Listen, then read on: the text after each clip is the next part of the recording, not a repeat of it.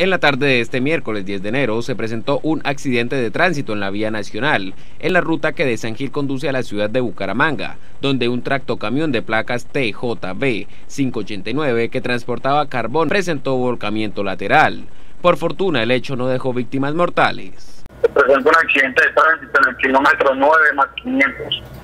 Eh, la vía San Gil ahora tocan donde un vehículo de tipo tractocamión la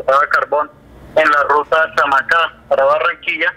sufrió un volcamiento lateral debido a esto a que al parecer el vehículo se orilló más, del, más de lo debido, lo que hizo que la carga, en el momento de espalizar el vehículo, sufriera, lo sacara la vía y sufriera este volcamiento. Se presume que las causas del accidente de tránsito se dio cuando el conductor se orilló más de lo debido, terminando a un costado de la vía. De las primeras eh, indagaciones, lo que se pudo hablar con el conductor, eh, esto orillaría mucho el vehículo hacia, hacia un borde y al encontrar el vehículo de este desnivel entre la zona de la carpeta de rodadura y la y lo que es la zona verde, la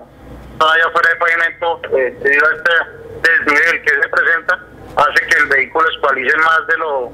más de lo que el vehículo puede soportar y eso ocasionó que se presentara este volcamiento lateral. Se mantienen las recomendaciones a los conductores que transitan por las vías del territorio nacional. Como siempre hemos insistido y seguimos insistiendo,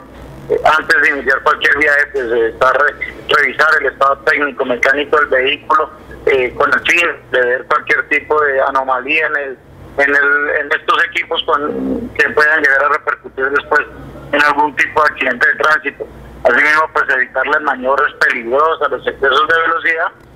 siempre haciendo una conducción responsable, una conducción apegada a las normas de tránsito y a la defensiva, y con esto pues se pueden evitar muchos inconvenientes. Además informa a la ciudadanía que ante cualquier eventualidad se pueden comunicar a la línea 123 o numeral 767 de la Policía Nacional.